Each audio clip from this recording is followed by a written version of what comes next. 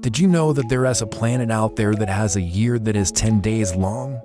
Well, there's actually a planet that has a year that is 10 days long, and it's not even the smallest planet in the solar system. The planet is called TOI 700e and it's located in the constellation of Eridanus. It's about 100 light years away from Earth and it's slightly smaller than Jupiter.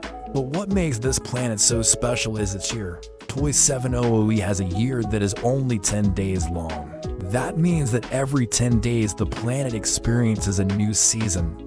And because the planet is so close to its star, it rains sideways. The atmosphere of TOI 700E is extremely hot and it's mostly made up of hydrogen and helium. The planet also has a very strong magnetic field, which helps to protect it from harmful radiation from its star.